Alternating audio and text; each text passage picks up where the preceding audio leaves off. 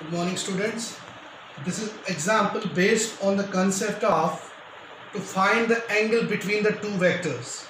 So आज हम angle between the two vectors अगर angle find करना होगा दो vectors के बीच में तो क्या formula if you have watched the previous videos then you will say what is the formula to find the angle between the two vectors. So let us start the solution. We have two vectors A and B. A and B. A vector is I plus J minus K. B vector is I minus J plus K. So the formula for the angle theta between two vectors two vectors a and b is given by is given by cos theta vector a into vector b upon the magnitude of vector a into vector b. So that means we will have a dot b. What is a dot b? Vector.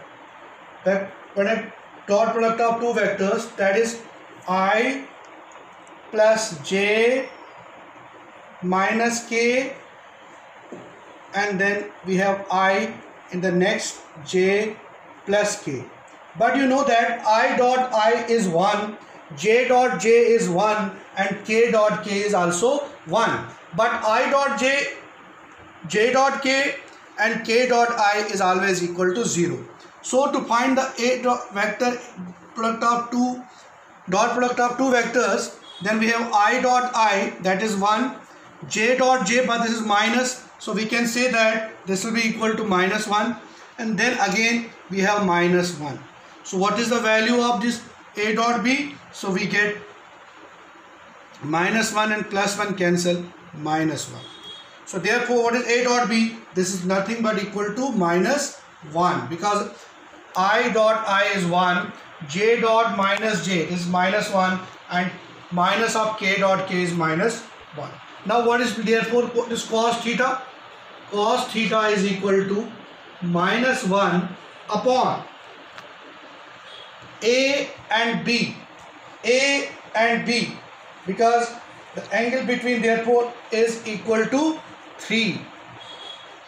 Magnitude of A. What is the magnitude of A? If you have to find the magnitude of A, then what is magnitude of A?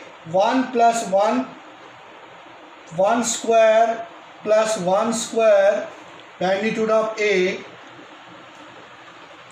plus minus 1 square that is 1 plus 1 minus plus 1 that is root 3 and again for more magnitude of b that will be root 3 so therefore if we have if we write root 3 into root 3 so that means minus 1 upon 3. Magnitude of A is equal to root 3. Magnitude of B is also equal to root 3. So therefore root 3 into root 3 equal to 3. That means cos theta is equal to minus 1 by 3. Then the theta will be equal to cos inverse minus 1 upon 3. So this is the angle between the two vectors A and B. First you can find the magnitude of A then you can find the magnitude of B. So here we go directly for the theta is cos inverse minus 1 upon 3.